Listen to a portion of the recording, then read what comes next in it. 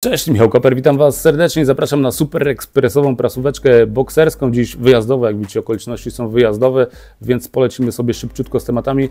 Tym bardziej, że no, ze względu na wyjazd nie miałem specjalnej okazji, żeby robić jakiś research internetowy i szukać, co tam się w świecie boksu dzieje.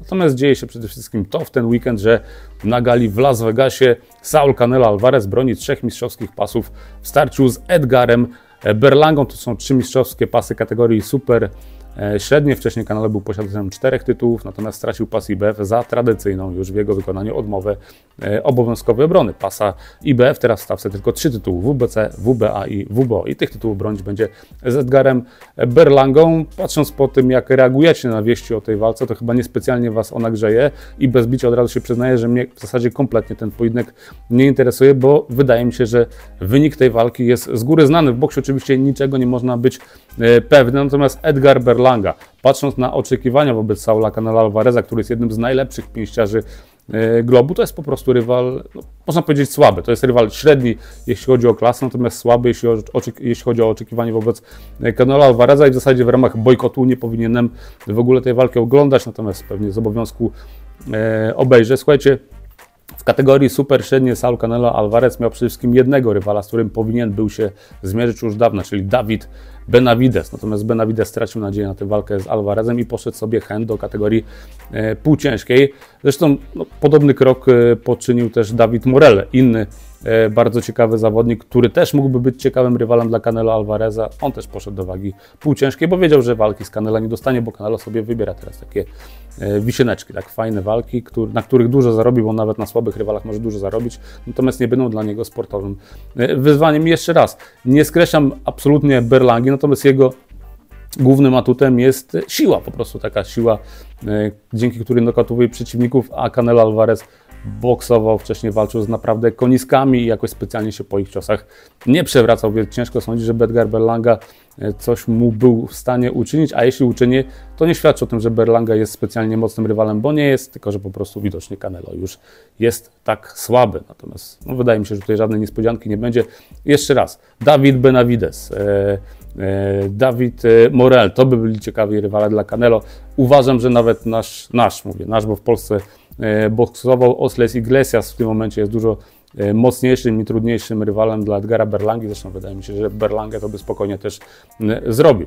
Ale Canelo ma od, od, do odbębnienia tę walkę, pewnie ją wygra. Tra, transmisja, przypominam, platforma streamingowa Dazon w nocy z soboty na niedzielę, to wszystko na zachodnim wybrzeżu stanu, więc e, godzina późna, taka wręcz e, poranna i tyle. No, oglądajcie, jeśli macie ochotę.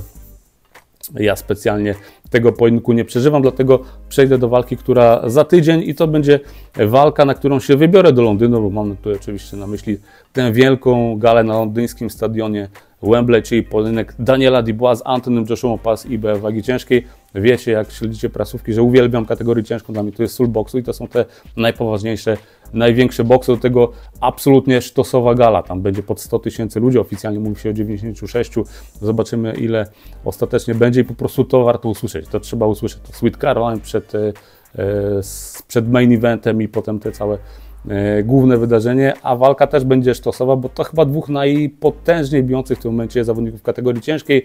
Joshua i Dubois, można tu do tego grona, tak jak mówiłem wcześniej, ewentualnie jeszcze Żanga doliczyć, nawet nie Bakole, bo Bakole raczej po prostu morduje tymi swoimi ciosami, a nie ma pojedynczego uderzenia, natomiast Daniel Dubois i Antony Joshua to dwóch potężnie bijących zawodników. Ja ostatnio gadając o tej walce, pozwolę sobie takie stwierdzenie, że no, wygrana Dubois, podobno powiedziałem, że byłaby sensacją, nie wiem czy użyłem tego słowa, ale wydaje mi się, może, może przesadziłem. Byłaby dużą niespodzianką, bo Jadli była absolutnie w tej walce nie skreślam. Natomiast powiem Wam e, teraz, e, dlaczego uważam, że Dibła będzie że Joshua, przepraszam, Joshua będzie tutaj zdecydowanym faworytem. Jeszcze a propos komentarza, bo też taki się pojawił, że w boksie nie ma faworytów. Są oczywiście faworyci, oni w większości wypadków e, wygrywają, natomiast nigdy niczego nie można być pewien. To jest, e, to jest to słowo faworyt, to znaczy, że ma większe szanse na zwycięstwo, a nie, dlatego, a, a nie oznacza, że na pewno wygra. I tak jest z Joshua. I zaraz powiem Wam, dlaczego uważam, że Joshua będzie ciężkim faworytem w walce, zdecydowanym faworytem w walce z Danielem Dubois. Zaczniemy sobie, słuchajcie, od atrybutów jednego i drugiego wspólnych, takich, które są głównymi e, wspólnymi atutami Joshua i Dubois. Od, od Dubois zaczniemy, bo Dubois jest tutaj e, underdogiem. Jego atuty to jest e, siła uderzenia, która jest potężna i o tym mówi każdy. Ostatnio ukazał się mm, kolejny wywiad z zawodnikiem, który widział ten sparring Joshua z Danielem Dubois, widział go na wideo, nie osobiście Joe Joyce czyli były rywal Daniela Dubois, który absolutnie chwali e, siłę Daniela Dubois, z którym wygrał ostatecznie walkę, natomiast czuł jego ciosy i widział, bo wcześniej Antony Fowler mówił o tym sparingu, opowiadał jako naoczny świadek, że tam Joshua miał nogi jak z galarety, że go podłączył ciężko e, Daniel Dubois, ale go nie skończył, bo miał zbyt wiele dla AJ'a szacunku. E, teraz w zasadzie słowa Antonego Fowlera potwierdził też Joe Joyce, o Joe Joyce twierdzi, że widział ten sparring na nagraniu, na wideo, i tak było właśnie, jak Antony Fowler opowiadał, że był tam Antoni Joshua ciężko podłączony. I to jest główny e, atut e, e, Daniela Dubois. No i pamiętajmy, że to było dawno temu. Teraz Dubois jest silniejszy. Wcześniej boksowali w dużych rękawicach sparingowych, w kaskach, więc jak mógł uszkodzić Joshua na sparingu, to tym bardziej jest w stanie uszkodzić go w walce. Więc to jest ta nadzieja Dubois. Ale słuchajcie, z drugiej strony to mamy zrównoważony ten argument, bo Antony Joshua to też jest zawodnik, który potwornie, potwornie, piekielnie, mocno bij. Jak spojrzycie w jaki sposób e, przewracał, niemal z butów wyrywał swoich rywali w niektórych walkach Antony Joshua, no to też jest e, kawał kloca i potężne byczysko, jeśli chodzi o e, siłę ciosu. Drugim atutem Daniela Dubois jest jego lewy prosty, który jest kapitalny, naprawdę jest szybciutki. Jest to cios też, to wielu pięściarzy mówi, który robi krzywdę. To nie jest tylko taki cios, żeby ustawić, ustawić rywala pod prawy, kontrolować dystans, walkę, tylko tym ciosem on może zrobić krzywdę.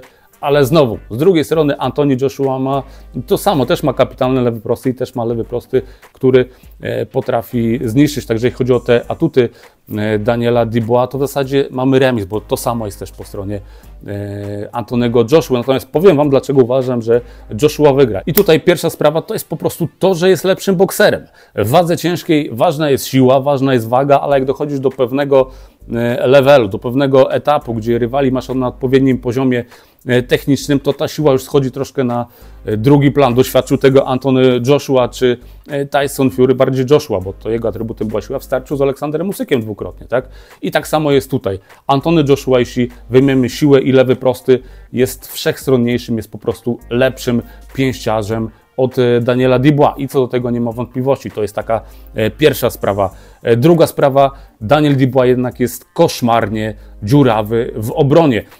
Oczywiście on zapowiada, że robi progres, że rozwinął się pod okiem Dona Charlesa, natomiast Słuchajcie, walka z Filipem Hrgowiczem, w której no, Daniel Dubois łykał jak świeże bułeczki, jedno po drugie, te potężne buły e, ze strony Filipa Hrgowicza, no to była trzy miesiące temu, tak, to był czerwiec, teraz mam wrzesień, trzy miesiące z kawałkiem. No nie można, nie można, to jest takie powiedzenie, nie można starego psa nauczyć nowych sztuczek. No, Dubois nie jest żadnym starym psem, ale przez trzy miesiące nie można zrobić progresu, nie można zawalczyć inaczej, ale jeśli ktoś e, łyka ciosy, ktoś łatwo jest trafiany, no to nie stanie się mistrzem obrony, obrony w 3 miesiące. Łatwo łykał lewe proste, z prawej ręki ciosy też. E, Joe Joyce'a, Daniel Libła. Dało się trafiać Usykowi, Usykowi to akurat inna sprawa, no ale Filip Rgowicz, który jest no, takim E, dobrym, mocnym bokserskim rzemieślnikiem, z łatwością trafiał Daniela Dubois i tylko to, że Daniel Dubois pokazał e, serce do walki, że przezwyciężył e, trudności, że no, w zasadzie przełamał psychicznie Filipa Krogowicza, sprawiło, że on ten pojedynek wygrał.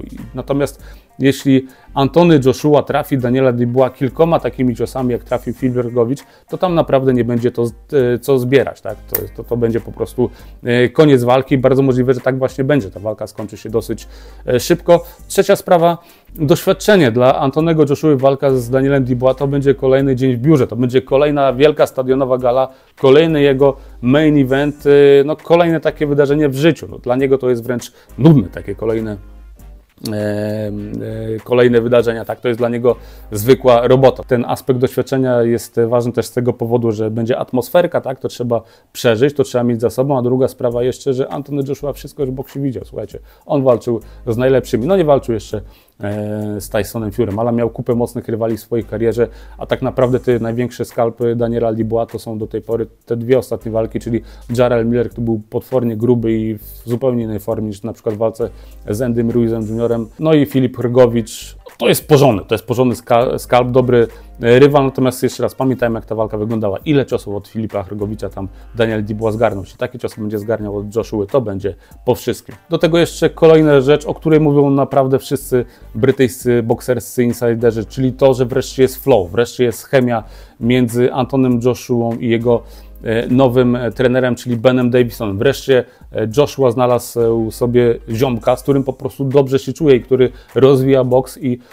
uwydatnia jego takie, takie, takie najlepsze bokserskie E, cechy. Wreszcie Anton Joshua po tej przerwie, kiedy był takim pykaczem troszkę, był e, no, taką wersją Kliszko numer dwa. To pierwszy raz się zaczęło po przegranej walce z Ruizem, kiedy wrócił, walczył bezpiecznie. Te ostatnie walki poprzednie, po powrocie też e, po usykach były Joshua nudne. Wielu narzekało, że to już stary Joshua, teraz nagle jest ten ogień. Wiadomo, że E, że Francis Ngannou to nie jest potężny rywal. Wiadomo, że Otto Wallin to też nie jest potężny rywal, ale u Antonego Joshua widać ten e, głód boksu, widać to, że wreszcie on nie jest w ringu taki bojaźliwy, ostrożny. To jest ten Joshua, który był na początku kariery, także wydaje mi się, że tutaj tych e, atrybutów, tych zalet po stronie Antonego Joshua jest zdecydowanie zbyt dużo, żeby wierzyć jakoś mocno w zwycięstwo Daniela Dubois, natomiast jeszcze raz wrócę do tego sparingu. Skoro na sparingu mógł podłączyć i prawie wykończyć, takie są e, opowieści w zasadzie legitne, bo to już z dwóch e, źródeł Daniel Dubois, Antoniego Joshua, to tym bardziej może to zrobić w prawdziwej walce, w małych, twardych rękawicach, tym bardziej może Joshua uszkodzić, może go znokautować. Natomiast jeszcze raz, Joshua będzie tutaj ciężkim faworytem i taka jest prawda o tej walce. Ja na tej walce będę taki, mam plan, jak wszystko pójdzie e, zgodnie z grafikiem i będziemy tam już z miejsca tę walkę od e, poniedziałku, bodajże od wtorku sobie relacjonować tę całą galę. I jeszcze na zakończenie taka informacja odnośnie Deontaya Wildera, bo Malik Scott, czyli przyjaciel i trener od jakiegoś czasu, e, również Deontay Wildera stwierdził, że nie ma mowy, żeby teraz Bronze Bomber z boksem się żegnał, że on jeszcze wróci, że jeszcze ma e, głód boksu, że może dawać dobre walki, jest na elitarnym E, poziomie i co ciekawe, jako dwóch potencjalnych rywali, takich, z którymi te walki by się obejrzały w wykonaniu Deontay Wildera, Malik Scott wymienia Francisa Ngannou i Antonego Joshua. Wydaje mi się, że Ngannou byłby jednak lepszym, łatwiejszym rywalem dla Wildera i ciekawszym tak marketingowo. Bo Joshua zresztą chyba będzie zajęty, tym bardziej jak pokonał Daniela Dubois, to nie będzie sobie zawracał głowy żadnym Deontayem Wilderem, który z ostatnich pięciu walk przegrał walki cztery, wygrał tylko ze słabym Heleniusem i z tych e, czterech przegranych walk notował, w tych czterech przegranych walkach zanotował trzy czasówki, także na razie e, no, Deontay Wilder jest taką piękną melodią przyszłości i jakąś tam mglistą obietnicą na przyszłość, no ale Malik Scott twierdzi, że wróci jeszcze nam Bronze Bomber e, na ring. Życzę mu tego z całego serca, bo też dla wagi ciężkiej będzie ciekawostka, pod warunkiem, że będzie boksował z jajami, tak jak boksował kiedyś w tej prasówce. To wszystko. Trzymajcie się. Do zobaczenia. Do zobaczenia. Buongiorno. Yo